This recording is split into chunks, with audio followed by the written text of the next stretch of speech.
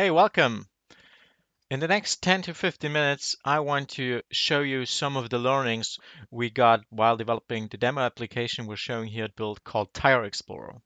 And I want to especially cover the technical details and you know share some of the best practices and experiences and learnings with you so you can take something with you. And as you can see in the session title, this is part one, and part two will be presented later today and through the next couple of days here at Build.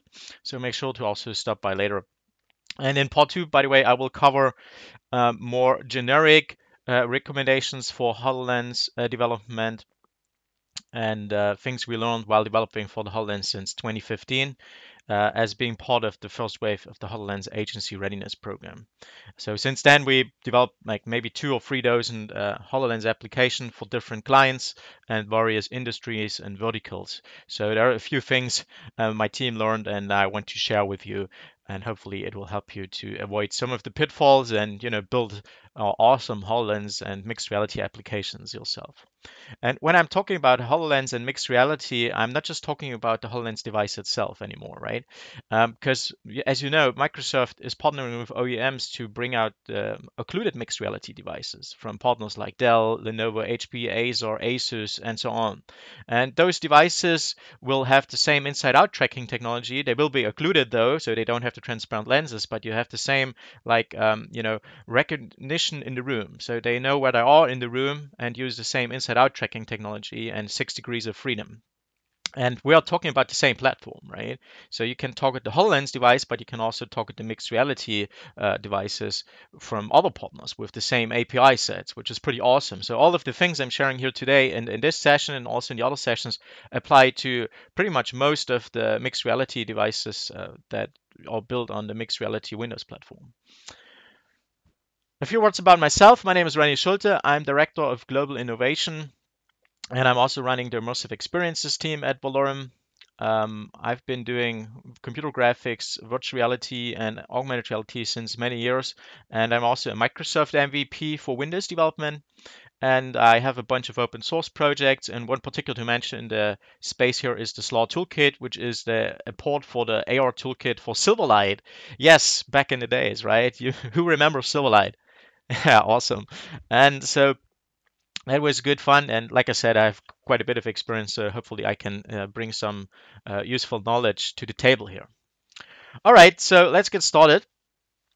Uh, first, I want to show you a quick video about the company uh, Valorem um, that's showing some of our HoloLens and mixed reality work we're doing. Uh, Valorem actually works with much more uh, technologies. Uh, mostly we're really focused on the Windows and Microsoft stack. So we are also a big partner with Azure and Office 365 and so on. But my team is, like I said, focusing on immersive technology. And these days it's really for us mostly about mixed reality and, and HoloLens.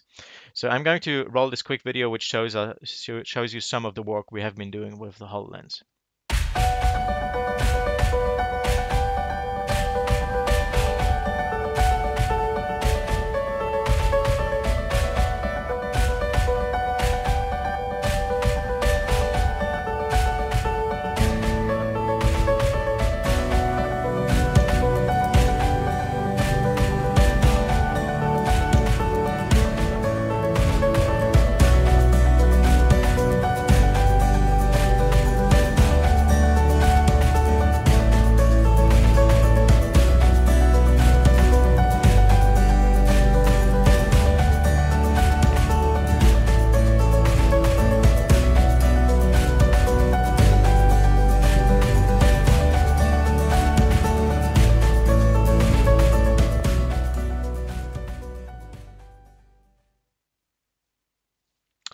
All right.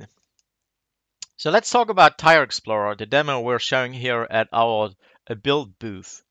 And Tire Explorer was mainly developed for Bridgestone, uh, one of our clients. And we're targeting a retail scenario and also training scenarios here. So Tire Explorer will allow you to show the components of a tire and explain those components of a tire. So think about you're going to a retail shop, you put on the lens, then you look at a tire, And then here's the awesome piece, right? You can look at real world tire and then you can see the inner workings of the tire as holograms, as mixed reality content. So this is the scenario that is nice for retail, but also for training, because of course, you know, it's it's quite hard to train stuff with all the uh, you know complex technologies that are inside a tire. So this is another a use case for this uh, you know example of this application. So here I would show a quick video once we have it, and um, that shows the experience. Now let's talk about how we render the tire, how we do we visualize the tire. Because if you have seen the demo, you notice that it's actually quite a nice rendering. And the HoloLens is a mobile device, which means we, we don't have like the full computing power of an Xbox, but we actually have quite some computing power available uh, in the in the HoloLens.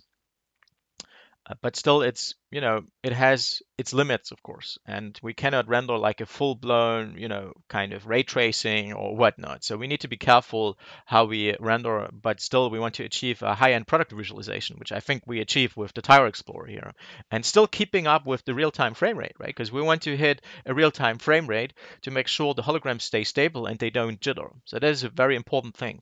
And one piece to achieve that is via some good modeling. So I have great 3D artists on my team which know how to model um, a 3D model in such a way that it's still looking good, but also doesn't have like millions of polygons, right? So actually for this tire here, we got a CAD model from Bridgestone, which was, I think, 4, 4, 4 million or 5 million polygons. So we took that and uh, reduced it, but also, of course, we had to do some manual work to, to make it really nice. And then we also use custom shaders for all of the, the rendering of the materials that, you know, a shader is, if you don't know it, you know, it this it defines the look of a certain object of the material. And you cannot have a very heavy pixel shader on the device otherwise the frame rate will drop. So uh, but we still want to have good looking shaders right? So what we did here uh, we use a tool called shader forge which is kind of a node based shader uh, development shader editing tool. Uh, it's pretty awesome so you can get it from the unity asset store and it's easy to develop shaders uh, easy in a sense that of course you need to have some knowledge. But then we also take the generated shader code which is actually pretty awesome already that shaderforge generates it and the code you can see there is pretty good. But still there's always things uh, only a human can hand tune at least for now right? So let's see when the machines take over they they write all our shaders um, anyway so we have custom shaders all hand tuned and optimized so that is helping us a lot and um, yeah, let's talk about the tire tracking. So as you probably saw, we actually tracked the tire, the real world tire. We tracked that in the real world and we augment that tire then. And we do this by using advanced computer vision technology. And as you probably know, you can use certain marker tracking technology. So where you use a fiducial marker, like for example, something that looks like a QR code, but it could also be an image. And this particular a marker is then recognized by the computer vision API. And this marker uh, gives you then the reference point. It gives you the rotational information and the positional information, all of that. So you can use it as reference point to place holograms uh, nearby. And for Tire Explorer, we you know work together with Vuforia, and Vuforia is a, a middleware that provides you marker-based tracking. And they have a new, you know, new tool, new uh, development uh, enabler called CAD Targets Early Access Program. And what you can do there, you can actually use a CAD model, a computer-aided design model. And like I said, we got a, a, CAD model from Bridgestone actually for the tire. And usually in, in you know in the engineering field and so on, everything is designed these days with computer-aided design with CAD. So you usually have a CAD model of a real-world object. And this Vuforia CAD targets allows us to take that CAD model and use that to train a marker. So we can get a marker uh, for a CAD model. So we don't have to apply a traditional marker on the tire. We can use the actually real tire as a which is pretty awesome, right? What you need to keep in mind, you need to optimize the CAD model a bit. So there are some limitations, of course. Uh, for example, the CAD targets only supports uh, CAD models with 400,000 polygons, which is quite a lot already. And also the, the parts you split up a model should not be more than 10. And also it only supports five different textures, which is pretty awesome already. So you can definitely work with that. Um, it only supports one CAD target at runtime, which is also fine for our use case. And then, of course, you need to optimize your CAD model quite a bit because, for example, we started only with the CAD model of the actually tire, so only the rubber piece, because Bridgestone produces only the tire, not the rim. But this didn't track so well because, as you can imagine, the rim and the treads, there's not a lot of contrast. It's pretty much black and gray. And so we experiment with different lighting, and that helped a bit. But then again, we actually went down the path to model also the rim. So we modeled the real the, the rim we have in the real tire, and that you know helped a lot because then we could track it from all different angles and it had all the different uh, contrast and you know very defined uh, points as you can imagine. So there is some experimentation needed. But it's pretty awesome and i'm very glad with the result we got. All right so let's let's also talk about um, actually tire narration so as you probably saw in the demo, we also support you know explanations about the tire components, and we don't do this just by voice explanation. We actually use our own custom technology called HoloBeam. And with HoloBeam, what we do here is we take a 3D camera and can record a person with a 3D camera and then stream that in real time into the HoloLens. So this is immersive telepresence.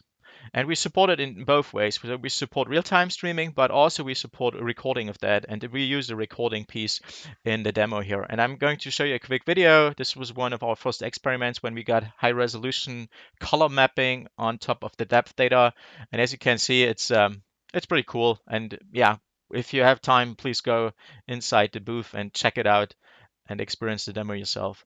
And um, yeah, so what we do here, like I said, we use a 3D camera record a person in real time, and uh, you know then we render the the points, the point cloud using a custom geometry shader, which is em emitting um, actually rectangles, and then we can map the full HD on the low resolution depth data, which is representing the point clouds. So custom shader, we also have a custom compression format for the actually depth encoding. That was quite some work to get right, of course. And there's a lot of C++ code on the streaming side and uh, yeah, lots of things uh, we're developing. And like I said, we're actually looking into two paths, real-time streaming built on top of WebRTC and also the recording pieces, which we're using in Tire Explorer here.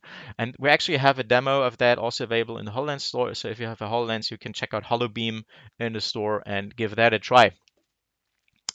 All right, so thanks for your attention.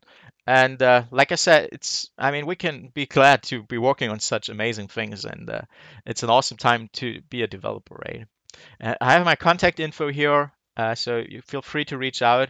And also we will have more talks today and tomorrow. So my friend Jesse here will do a design talk. Uh, Mark Brown uh, will also do a business talk about the Hololens and the Hololens agency program, and then we will have more more uh, short talks throughout the day and like I said through the next couple of days. So please make sure to come by again and I will stick around here. So if you have any questions, feel free to reach out directly or uh, via social media or whatnot. Thank you.